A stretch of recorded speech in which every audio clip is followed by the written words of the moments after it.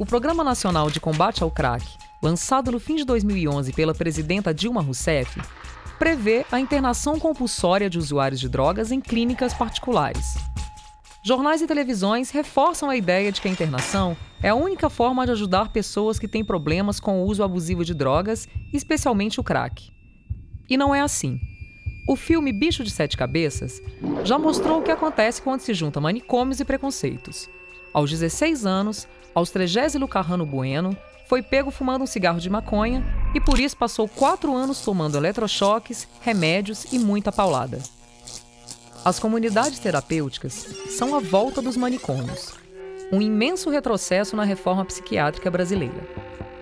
Desde os anos 90, os hospitais psiquiátricos estão sendo substituídos por uma rede de serviços públicos, onde o foco é um tratamento aberto e digno.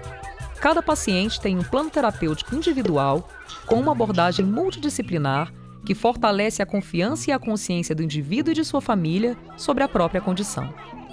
Atividades produtivas, socializadoras e pedagógicas são parte de um jeito de cuidar que tem trazido de volta ao convívio muitas pessoas que ficaram isoladas por anos, abandonadas em locais que não passavam de um depósito insalubre de gente. O conceito de loucura e as formas de tratá-la vem mudando conforme a época e a cultura. Na Grécia Antiga, loucos eram considerados enviados dos deuses, enquanto na Idade Média eram queimados como mensageiros do demônio. No século XVIII, a psiquiatria se afirma na Europa como a ciência que prende, classifica e estuda essas pessoas, declaradas incapazes de cuidar de si e de viver em sociedade. Só a partir de 1940 é que o italiano Franco Basaglia e a brasileira Nise da Silveira começam a tratar dos loucos com arte e afeto. Vários movimentos médicos e sociais passam a reconhecer que o estresse e as frustrações da vida em sociedade são fatores que ajudam a desencadear as ditas loucuras. Com o fim da ditadura militar no Brasil, os movimentos democráticos conquistam a implantação do Sistema Único de Saúde, hoje uma referência mundial em saúde pública. Só então, as pessoas com transtornos mentais começam a ser tratadas como cidadãs. A ideia de que o Brasil vive uma epidemia de crack só interessa a quem lucra com os sistemas destinados a isolar doentes e vender remédios. Por pior que seja, o crack é só mais uma entre tantas outras drogas no universo em que o álcool e o cigarro são as que mais matam. Desde 2002, o Centro de Atenção Psicossocial do SUS atendem e acompanham pessoas que sofrem com o uso problemático de drogas. A rede cresce lentamente e inclui casas de acolhimento transitório, equipes de redução de danos, hospitais gerais e prontos-socorros. Ultimamente, os consultórios de rua estão se disseminando.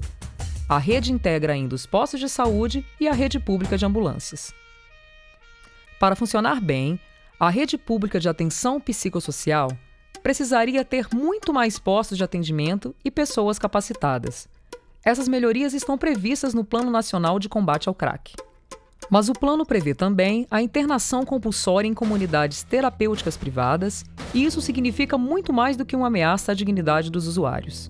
É também uma forma de privatização da saúde pública, pois investe dinheiro dos contribuintes em entidades sem transparência que lucram com a permanência dos usuários, não com sua recuperação. Informação, mobilização cidadã e pressão pública sobre governantes e mídia podem mudar esse quadro Conheça o relatório do Conselho Federal de Psicologia e veja as irregularidades encontradas nas comunidades terapêuticas em todo o país. O Observatório de Saúde Mental também investiga casos de abusos e informa sobre a reforma psiquiátrica no Brasil. O Brasil precisa de justiça social, não de novos manicômios.